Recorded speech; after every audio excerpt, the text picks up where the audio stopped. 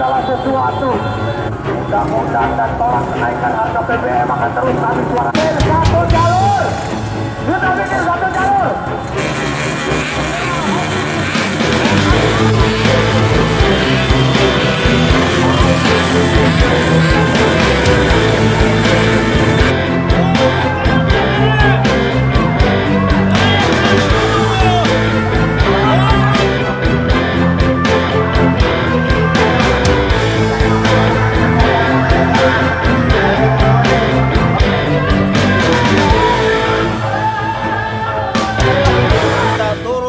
Harga BBM, turunkan harga barang-barang pokok kebutuhan, serta kemudian yang kedua tolak omnibus law. Tahun ini harus naik upah karena dua tahun sudah omnibus law BP 36 membuat kami tidak naik upah dan yang ketiga tentunya kita minta upah tahun 2023 naik 10 sampai 13 persen atau mungkin lebih tergantung nanti situasinya.